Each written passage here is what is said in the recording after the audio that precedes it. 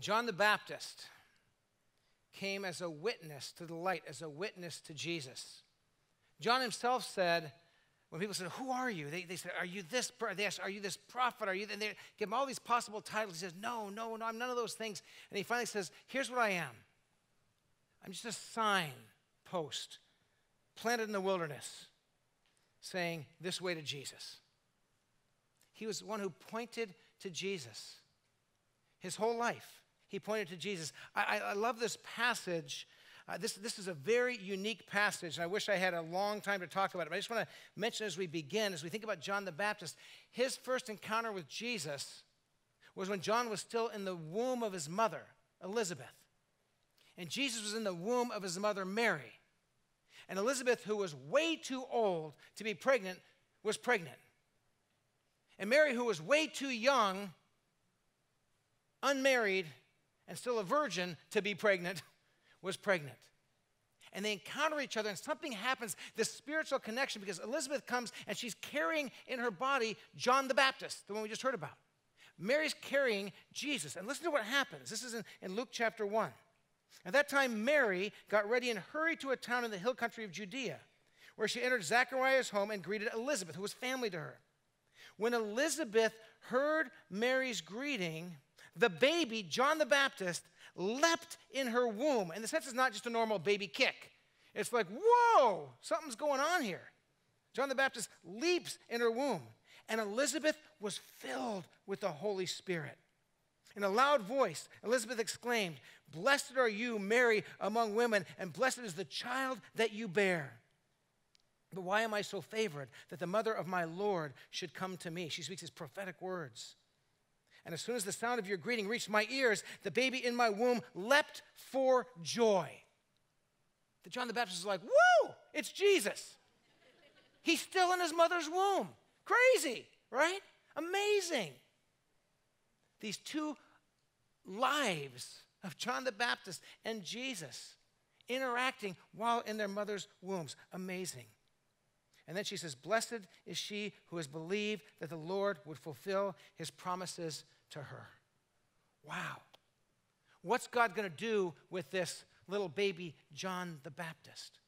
He's going to become a signpost pointing to Jesus and speaking of Jesus and teaching about Jesus and saying to people, follow this Jesus. As we walk through this Christmas season, if you're part of Shoreline, if you've been here, we, we, we found that, that anybody who came to Jesus they discovered this that it cost God something to send Jesus.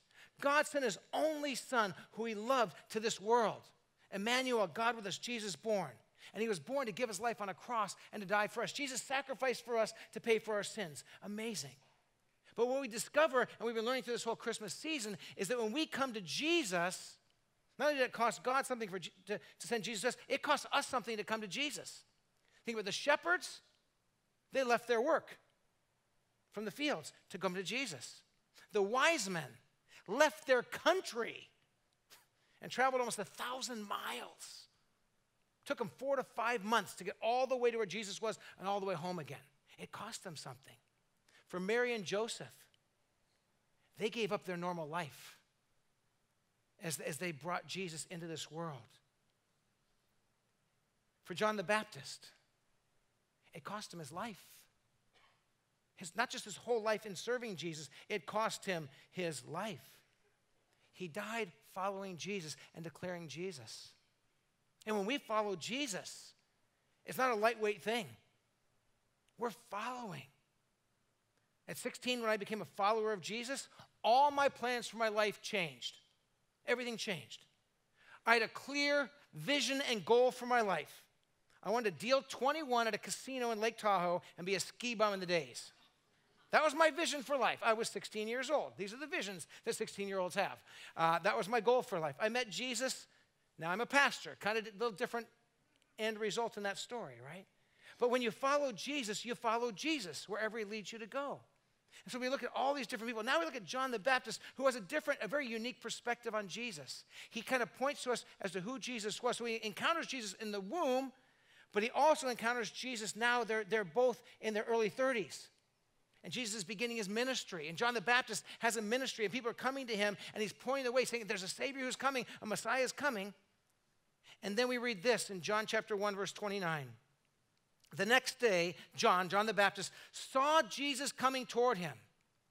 And John said, Look, the Lamb of God who takes away the sins of the world. There's a signpost. John the Baptist says, Look at this Jesus. He is the Lamb of God. He takes away the sins of the world. Anyone at that time in that part of the world knew exactly what he was saying. At that time, the, those who were religious, those who were of the Jewish faith at that time, they, they would come with their animals and they'd bring them to the temple and they'd sacrifice animals to pay for their sins. But it was animal after animal after animal after animal. And it was sort of this symbol of paying a price for your wrongs and your sins, but it didn't really solve the problem of sin. It didn't really wash people clean. And so, day after day after day, all these sacrifices. It was, it was horrific. It was pointing to the reality of sin, and they needed to make things right, but it didn't get the job done. And John sees Jesus and he says, This is the Lamb of God who does what? Takes away the sin of the world. The final payment, the final price was paid in Jesus. And John the Baptist declares it before Jesus ever went to the cross. He prophesied, This is the one who will pay the price for all of our sins. Here's what John declared He is the one and only sacrifice that can pay for your sins. This Jesus is the payment. He is the way. If you want all your wrongs and all your sin and all the garbage in your life, if you want it gone, it's Jesus, his payment. And that one payment, one time in history, made all other payments mean nothing. Tonight, we're going to actually share communion and we're going to break the bread. We're going to partake of the cup. We're going to think about the payment that Jesus gave for our sins. So, John declares this He's the one and only sacrifice that can pay for your sins. So, what we can say to ourselves. We can, we can tell ourselves and we can tell others this truth. Total and complete cleansing from sin can be found in Jesus and in Him alone. If you want total, absolute cleansing, every thought you've ever thought that you wish you hadn't thought and you wish you could get rid of, how does that get cleansed? Jesus. Everything you've ever done that you wish you hadn't done, or even things you've done that you don't care that you did it, but it broke the heart of God. How does all that get washed away? Jesus. His body was broken on the cross, his blood was shed. He's the Lamb of God who takes away all the sins of the world. Everything you've said, that the moment the words came out of your mouth, you wish you could have like grabbed them out of the air, stuffed them back in, and said, I'm sorry before they hit the other person, and then you couldn't do that because it doesn't work that way, and you saw the words hit that person and their face and the pain it brought. You think, how could I do that? How do you wash that away? The Lamb of God who takes away the sins of the world. This is Christmas. Christmas and Easter are all bound together. He came, He lived a life with no sin, He died for our sins, the Lamb of God, the final and only payment we need. And for anyone who says, I will take that payment, I will receive that Jesus, and all He did to wash me clean, they're washed clean.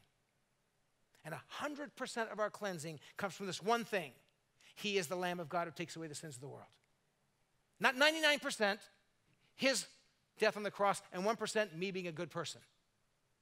100% of our cleansing because He is the Lamb of God who takes away the sins of the world.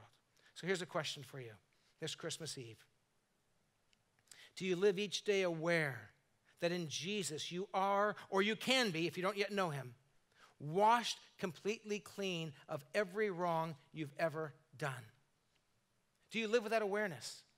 That if you've come to Jesus, the Lamb of God who takes away the sins of the world, and if you've received him, that you walk through life every day perfectly cleansed. And that you will stand before the perfect, holy God of heaven, and he will look at you and he'll say, What sin? There's no sin.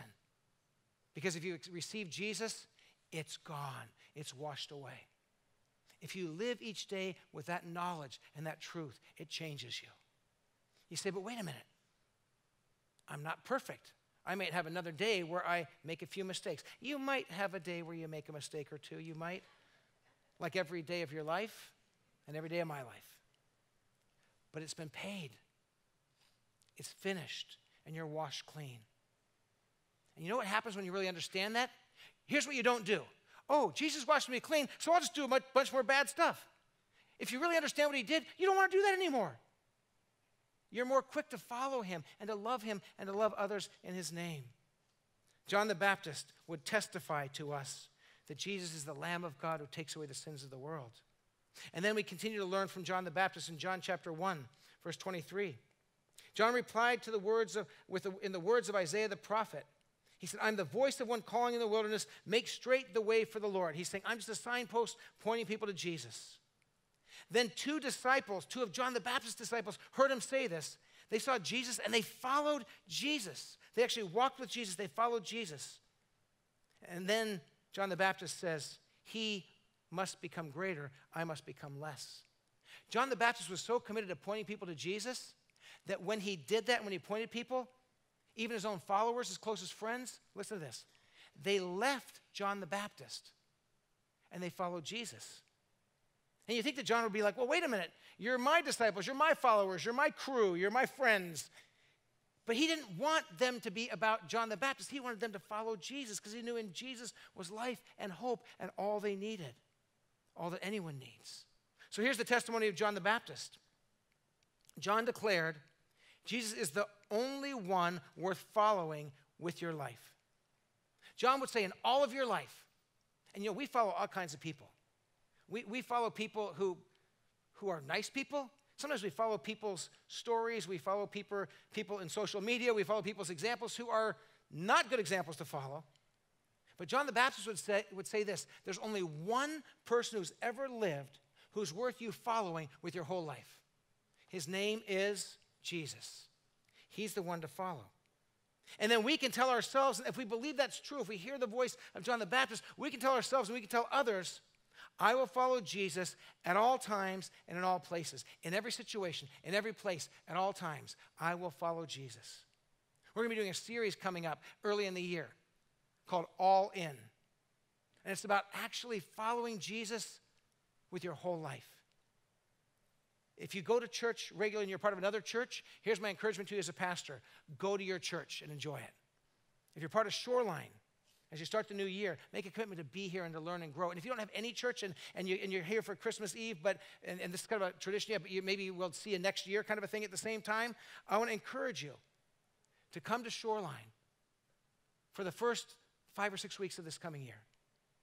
And you will hear an invitation to live a life that is an adventure better than anything you can imagine or dream.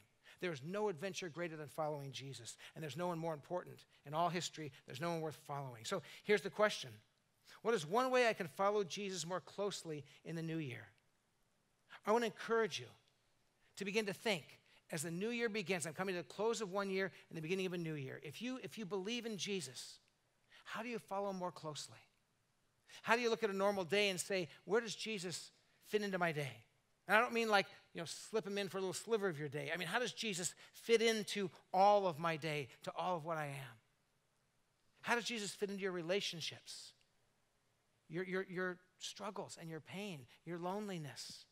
How does Jesus fit into your schooling, to your workplace, to your neighborhood? And begin to say, Jesus, I want you to be part of all of my life.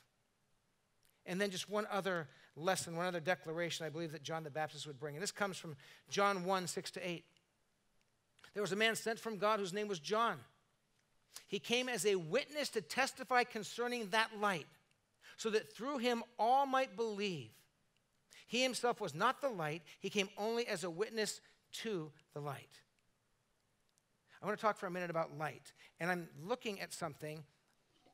I'm supposed to have a candle and something to light. There we go. Is that for me? It's where? It's back there. Okay. Well, we, we got lots of candles. Everyone's. Has anybody got a candle? Good. Um, I'm going to. Don't don't start lighting your candles yet, that comes later. But uh, we John basically says, I came to give witness to the light. So John the Baptist said, basically, this is what my life is. Here's my life. Everybody watch. This is John the Baptist saying, this is my life. This is what I'm all about. Get it? He said, I'm a witness to the light. The light is Jesus in a dark world. And, and you know what? Our world is dark. and there's, there's just so much pain and loneliness and hurt, and people that don't talk to each other anymore, people who can't get along, and just all this tension in our world. And in the darkness, the light shines the brightest. There's people that sort of say, Boy, our, our world's in such a terrible spot. But I look and say, You know what? The darker the world gets, the brighter the light shines. And when we light our candles later in the service as we close, I want to encourage you to think about that idea that Jesus is the light of the world who shines in the darkness. But you know what he says to you if you come to put your faith in him? He says, You're the light of the world. You say, What is it? Is Jesus the light of the world or am I the light of the world? What's the answer? Both. The answer is yes. Jesus and me. And when I walk with Jesus, his light shines in me, and his light reflects off of me. And so we're going to think about that as we close the service. And it's not just sort of a pretty thing to see, but it's just to think about that fact that the light of Jesus shines and we can shine that light. So here's the testimony of John the Baptist John declared, Jesus is the light of the world. He pointed to the light. He said, I come to bear witness to the light. And we can tell ourselves and others in our dark, broken, struggling world, there is a light that can never be extinguished. There is a light that shines that will never be extinguished. No matter how dark things get, no matter how discouraged you might get, no matter, no matter how you know, depression might just kind of fall on your life like a blanket. And you say, Where did this come from? And I don't want it. I didn't ask for it, but man, I feel like I'm in this dark place. But in that place, the light of Jesus shines. I'm in this relationship, and, and, I, and I want it to be like this, where we're connected. It's like this, where we're battling, and it feels dark and painful. And Jesus says, I shine my light in those places. Where fear comes, his light shines. Where addiction feels just uncontrollable, his light shines. When, when you look and say, I'm in such a deep financial hole, I can't get out. It's so dark down here, I can't even see the light. And Jesus says, I come down where you are and I shine my light. Whatever it is, his light shines. And John the Baptist says, I, I just, I come to point people to the light. And boy, when you find the light of Jesus, that becomes your message, that becomes your story that you receive his light and you point other people to that light and you begin to shine with his light. I want to invite you uh, to begin to prepare your heart uh, as we continue to worship, but as we come to the table. It is such a great way to, you know, in, in about, uh, in about 21 minutes, it will be Christmas Day. And what better way to prepare ourselves to celebrate the coming of Jesus than to remember why he came? why his body was broken, why his blood was shed, and the price he paid. So I'm going to ask you to pray with me to prepare our hearts to come to the table to partake of communion together. Let's pray together. Lord Jesus, we pray that as we come to the table, just moments from now, that as we take the bread, we will remember that your body was broken for us. As we take the cup, we'll remember that you poured yourself out. You paid the price. You are the Lamb of God who takes away the sins of the world. Lord Jesus, prepare us, not, not just to partake of bread and to partake of the cup, but prepare us to encounter you and be encountered by you. Prepare us to hear your voice. And Lord, I pray to see your face. And Lord, remind us this night that Jesus, you not only came to this world 2,000 years ago, you not only died on the cross to wash our sins away, you not only, not only died and were buried in, for three days, but that Jesus, you rose again. And by your Spirit, you're here and you're present. Draw near to us where we are in a dark place, and all of us have dark places in our lives. Shine your light. Remind us that you are the Lamb of God who has taken away all the sins of the world. Now, Lord, prepare our hearts to come to the table. I invite you to listen to these words from 1 Corinthians 11 23 to 26. The Apostle Paul writes, For I received from the Lord what I also passed on to you. The Lord Jesus, on the night he was betrayed, took bread. When he had given thanks, he broke it and he said, This is my body, which is for you. Do this in remembrance of me. In the same way, after supper, he took the cup, saying, This cup is the new covenant in my blood. Do this whenever you drink it in remembrance of me. For whenever you eat this bread and drink this cup, you proclaim the Lord's death until he comes again. In a moment, we're going to invite you to come to the tables. There's four tables. There's two right back here and kind of the middle back, and there's two out on the ends of our worship center. And we invite you to come and to partake. If you, if you have faith in Jesus, if you believe in him, and you're ready to come to the table, if you can't get up from where you are, if you have a hard time doing that, we'll try to have someone find you and kind of raise your hand, and we'll bring communion to you right where you are. But as you come to the table, as you take the bread and hold it in your hand, as you take the cup and hold it in your hand, I want you to think about three things. First, remember Jesus. Jesus said, every, He said, every time you do this, He said, simply do this remember me. So as you hold the elements, remember the life of Jesus, how He healed and loved and cared, and how He was compassionate. Remember His death on the cross. Remember His resurrection. Remember Jesus as you hold the elements. And then when you're ready, you can partake of them. Second, I want to invite you to search your heart. The Bible's really clear that one of the best things we can do when we come to the table is remember that Jesus died for our sins, the Lamb of God who takes away the sins of the world. So thank Him for that. But also, if the Holy Spirit kind of nudges you in your heart and reminds you of an area where you're continuing on with an attitude or actions or behaviors that you know God doesn't want, as you hold the bread and hold the cup, say, Lord, search my heart. And if there's something I need to turn away from, just to say, I'm done with it. I, am asking for your power, God, to turn away from this.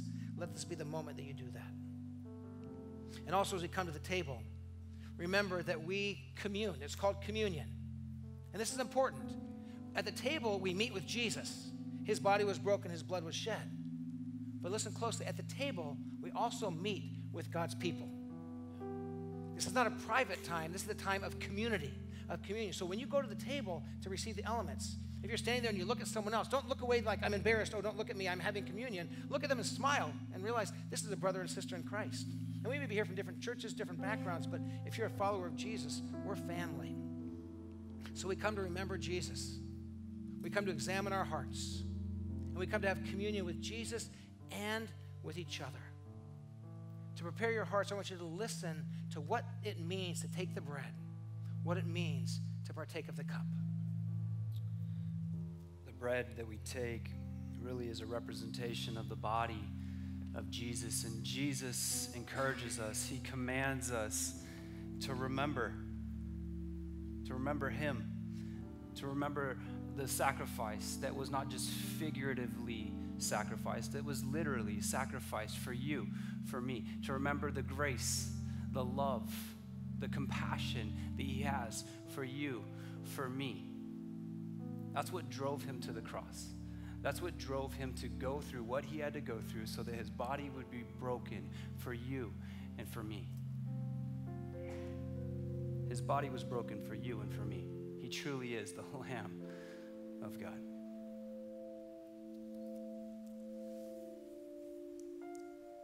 This cup represents the blood of Jesus Christ that was shed on the cross, the holy Lamb of God that takes away the sins of the world. This Christmas Eve, I encourage you and, and ask you to meditate in what this means and think about the sacrifice that God did through His Son Jesus and how He demonstrated His love toward us in this that although we were still sinners, He died for us.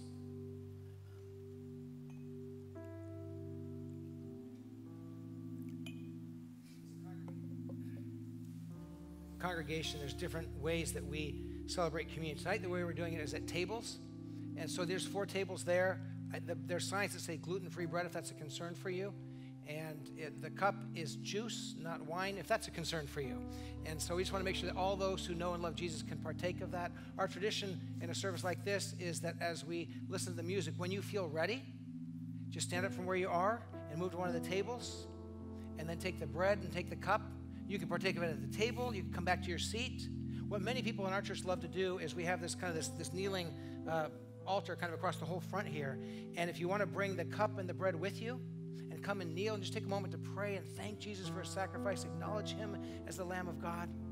And you can partake up here or at your seat or back at the tables.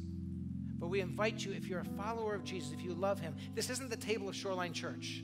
This is the table of Jesus. If you're a follower of Jesus, He welcomes you to. Let's pray as we prepare our hearts. Father God, we just thank you for who you are, for what this all represents, and the fact that you, your body truly was broken, your blood truly was shed for us. It was love. Thank you for that love. Thank you that your grace truly is amazing and that you call us. You call us to remember that. And you call us to, to enter into a life united with you so that your light can shine, so that we can continue to point to you. God, we ask that you magnify yourself in and through us. More of you, Jesus, less of us is what we ask for. And as we come to the table tonight, this Christmas Eve, we come remembering who you are and what you've done. What a gift. Truly is the best gift. Thank you, Jesus. You are love. We come to the table, for all things are now ready.